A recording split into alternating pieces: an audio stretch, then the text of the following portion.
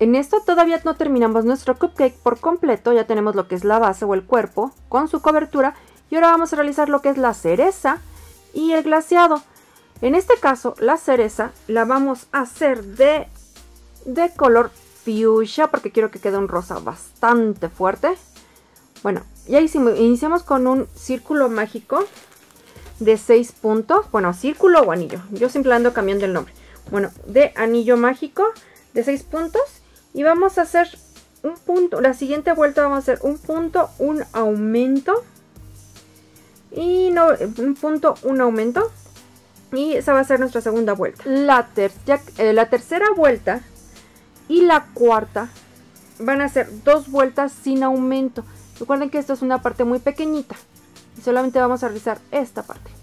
Ya que hayamos terminado la vuelta 3 y 4 nos debe quedar como un pequeño medio círculo y es exactamente lo que vamos a pegar en la parte superior arriba del glaciado.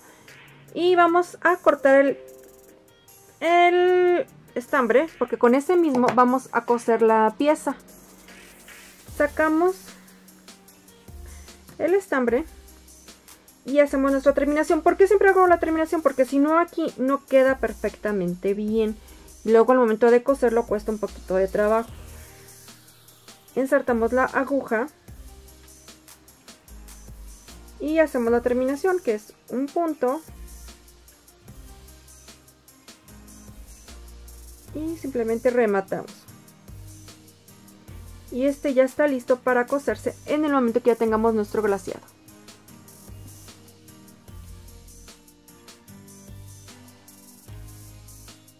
Vamos a comenzar a tejer lo que sería el glaciado. Y vamos a iniciar con un anillo mágico de 6 eh, seis puntos. Y vamos a, hacer la, siguiente, la segunda vuelta. Que esa segunda vuelta es un, un aumento en cada punto. Es decir, tiene que quedar muy similar a lo que hagamos en esta parte.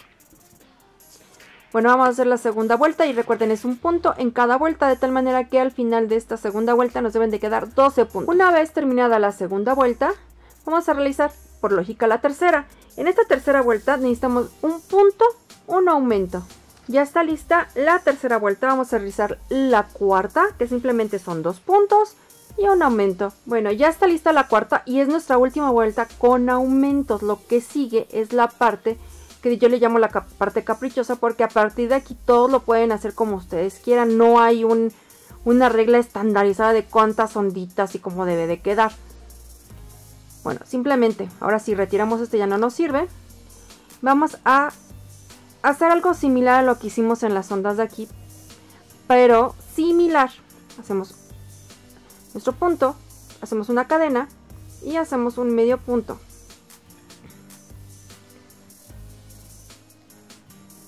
y hacemos otro medio punto en el mismo punto y hacemos un medio punto nos damos al siguiente. Y en el otro, no en ese vamos a tejer una cadenita. 1, 2, 3 4, 5 6 y una vez que llegamos aquí no vamos a tejer el penúltimo sino el antepenúltimo. Y vamos a tejer pero con punto bajo o punto deslizado, como lo conozcan. Vamos a ir tejiendo nuestras cadenitas que con punto deslizado, ya que ya estoy haciéndolo medio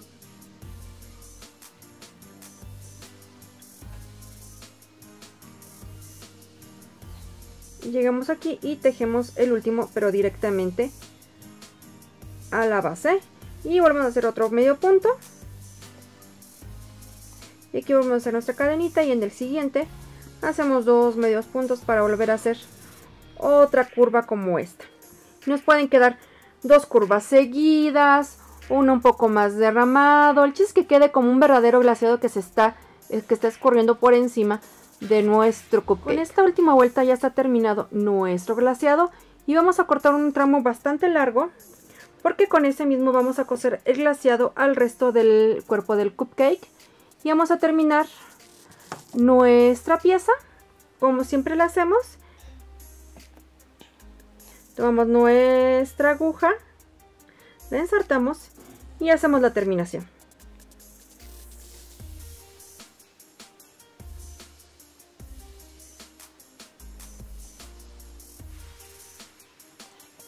Ya que está lista la terminación, vamos a colocarlo sobre nuestro cupcake, es decir, vamos a tratar de que este centro quede con este otro centro. De eso pueden valerse por, eh, con esta bueno, pueden utilizar la línea central, es decir, la inicial. Si lo dejaron lo suficientemente largo, si no, no se preocupen, utilicen alfileres y traten de ubicar centro con centro. Vamos a solamente hacer una puntada porque como está corto el estambre no nos va a alcanzar para más. Ahí está. Centro con centro. Tomo un punto de arriba.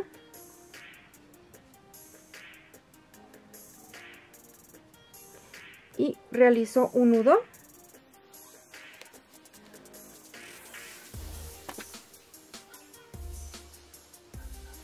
y esta hebra y esta hebra la vamos a perder dentro del tejido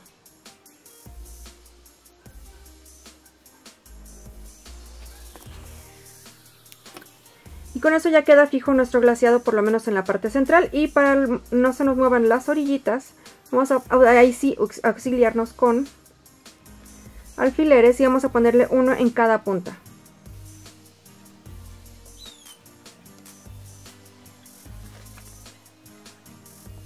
Una vez que ya estén asegurado, vamos a comenzar a coser. ¿Cómo le vamos a coser? Simplemente vamos a tomar puntos de abajo. Y vamos a ir abrazando los entrepuntos o los... Bueno, yo no sé cómo llamarlos, pero según yo son entrepuntos. Aquí, mira, aquí está el punto. No lo estamos haciendo así, sino estamos tratando de abrazar igual que cuando cosimos nuestros, nuestras dos piezas para que quede oculto el estambre. Entonces agarramos el punto como si fuéramos a tejer, pero en lugar de tejer abrazamos hacia el siguiente y tomamos por abajo el punto más cercano pero que, pero que a su vez quede oculto. Vuelvo a hacer lo mismo. Tomo como si fuera a tejer. Abrazo hacia el siguiente punto y sigo cosiendo. Y así vamos a continuar hasta terminar toda, pero toda la orilla. Ya está totalmente cosido nuestro glaseado y ya le hice su nudo. Simplemente vamos a perder la hebra dentro del tejido. Y cortamos. Y ya lo único que nos falta es coser nuestra cereza, que en este caso yo la hice en color rosa, como neón, no es fuchsia. Bueno, vamos a coserla también. La punta inicial ya la, yo ya la metí completamente en la parte interna. Vamos a utilizar un poquito de, muy poquito relleno. Muy poquito, estoy agarrando mucho. Lo hacemos bolita y lo insertamos. Estoy agarrando mucho, insisto muy poquito relleno y lo metemos dentro de lo que sería esta media bolita que es la cereza y la colocamos en la parte media y nos auxiliamos con algunos alfileres. Y aquí tenemos ubicada nuestra hebra y ensartamos esa hebra en nuestra aguja estambrera. Vamos a tomar un punto de abajo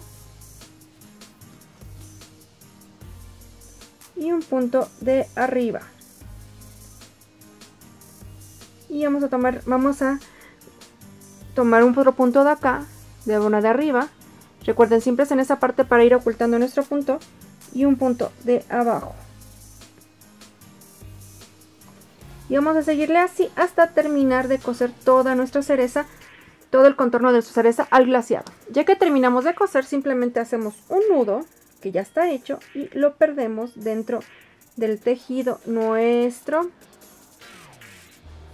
nuestra última hebra cortamos ¿qué creen? ya está terminado nuestro cupcake nos queda un poquito diferente porque las ondas hacen que se haga un poquito más aparentemente o visualmente más amplio pero es exactamente lo mismo y pueden hacerlos de diferentes formas, combinaciones Bueno, espero que les haya gustado el video y recuerden que si les gustó, denle like y suscríbanse. Y si ya se suscribieron, den un clic en la campana de notificaciones. Nos vemos para la próxima. ¡Ay, qué bonito quedó!